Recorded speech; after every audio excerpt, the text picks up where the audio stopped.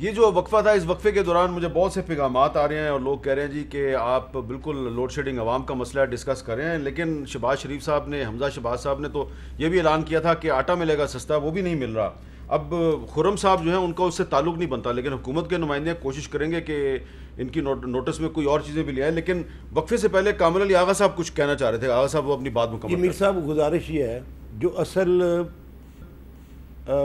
वजह है और जो मुसीबत है ये इमरानी मुसीबत कहते हैं ये कमीशन की मुसीबत है। कमीशन? जी हाँ।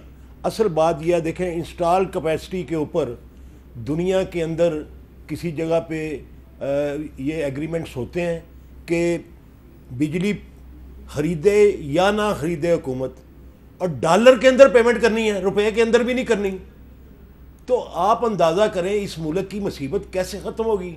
यहाँ पे पहले ही हमारे पास सरमाया नहीं है हमारे पास डॉलर नहीं है और हम ये जितनी आई पी पीज हैं सत्रह अठारह बीस इससे भी ज़्यादा हो गई अब तो ये सारी की सारी जो है इंस्टॉल कैपेसिटी के ऊपर जितनी इनकी कैपेसिटी है ना हम्म। यानी एक एक यूनिट लगा हुआ है एक प्लांट लगा हुआ है कि साढ़े पाँच सौ उसने वो उसकी कैपेसिटी है ये पाबंद है ये कहाँ का एग्रीमेंट है कि साढ़े पाँच सौ की पेमेंट करनी है डॉलर के अंदर।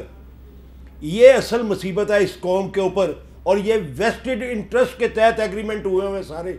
ये पहले मियाँ नवाज़ शरीफ साहब प्रापोगंडा करते थे कि बेनजीर ने लूट के खा लिया है और कमीशन ले रही है इसके अंदर। ये इंस्टॉल कैपेसिटी जो है ये एग्रीमेंट नहीं हो, हो सकता।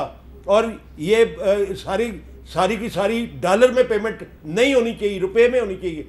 इन्होंने उसके उसने जो पाँच लगाए थे इन्होंने पता नहीं सोलह लगा दिए। और अब, अब वो सारे के सारे अगर वो कमीशन लेती थी तो ये भी तो कमीशन ही दे रहे हैं ना